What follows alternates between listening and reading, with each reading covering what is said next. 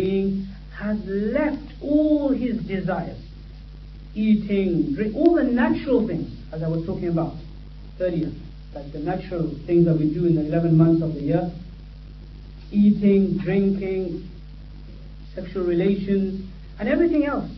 This person has left it for the sake of Allah. And only in fasting this happens.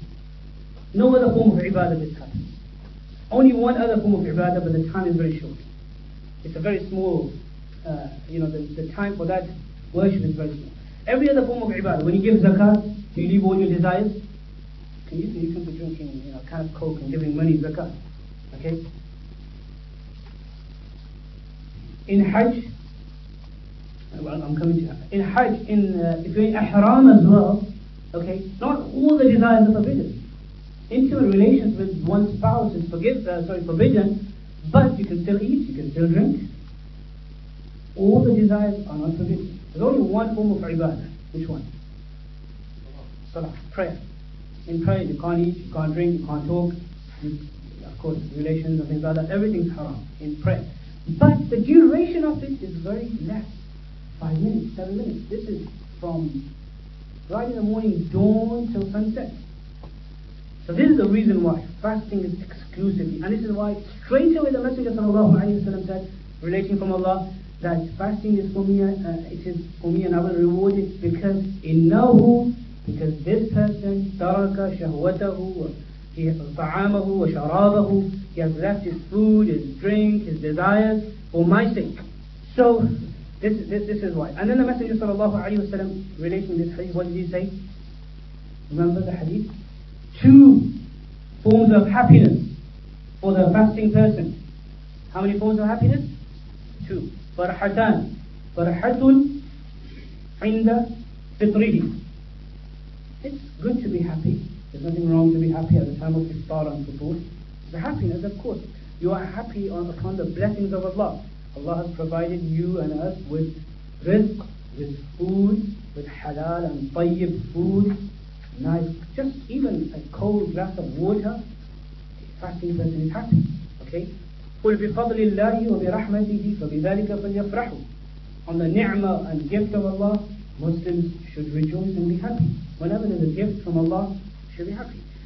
And number two, happiness is عند لقاء ربه. When he meets his Lord. When he meets his Lord.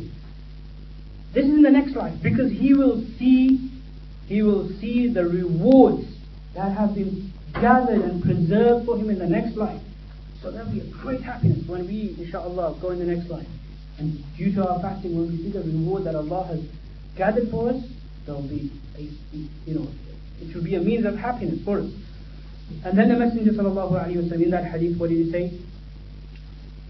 That خلوف فم الصائم أطيب عند الله من ريح المسك you know, the bad odor in the mouth. Remember, bad odor, Imam Nawawi rahmahullah mentions that the bad odor of the mouth happens because of many reasons. Sometimes because of eating something that has a foul smell to it, like onions and garlic and things like. And number two is for not speaking for a long time. Some, uh, a prolonged silence also causes bad odor. And maybe, uh, and not eating as well. And some other reasons. So that happens without a doubt. There's nothing wrong with it. Some people, you know, they feel bad. Why is it bad odor once I'm fasting? You know, some people, like one brother asked me once, can I use the mint siwak? You know the siwak you get? Can I use the mint one? You know, just, just to keep my mouth fresh. Remember that this whole month is like, you don't worry about the bad odor in your mouth. Afterwards, on the first day of Eid, just worry about everything, you know, just groom yourself 10 hours next to the mirror, do whatever you want to do, clean yourself, everything. And these, this month is exclusively directed for Allah subhanahu wa ta'ala. You don't worry about the bad smell, foul smell. Okay? I'm not saying we stay dirty and filthy, but you, we have to spend less time in worldly, mundane, regular activities. So, according to Allah subhanahu wa ta'ala, this bad foul smell, bad odor from the mouth is like, is more pure, uplier, more pleasant than rih al-misk, perfume, musk, just like the blood of the martyr is pure to Allah subhanahu wa ta'ala and not impure. Mentioned in another hadith. Same, same, same analogy. And so this is one hadith, and there's many, many other hadiths. There's another one, Sahih Bukhari and Sahih Muslim. The Messenger sallallahu alayhi wa sallam said, إِنَّ فِي الْجَنَّةِ بَابًا يُقَالُ لَهُ الرَّيَّانِ Verily in Jannah in paradise is a door called Rayyan. Some people have a name called Rayyan. This is the name of a door in Jannah.